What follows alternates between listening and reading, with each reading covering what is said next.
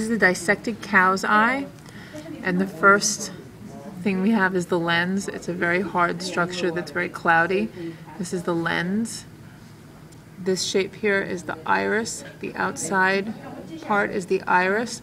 The opening in the middle is the pupil. And if we turn it over, the ciliary body is inside here. So the inside is ciliary body.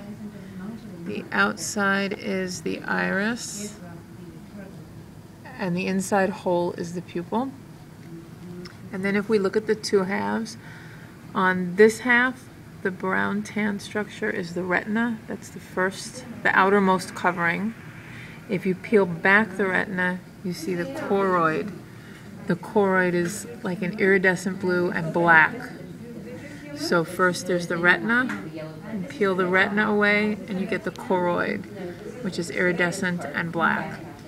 This is the optic nerve. The optic disc, disc is right here, and you can see it from the back.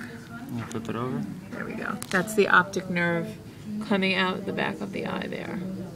Okay. Okay, and then just to flip this one, we can see that this is the cornea, which is the same material as the sclera. The sclera is white, and then the cornea would be clear, but it's just cloudy. So the cornea and the sclera. Probably has cataracts.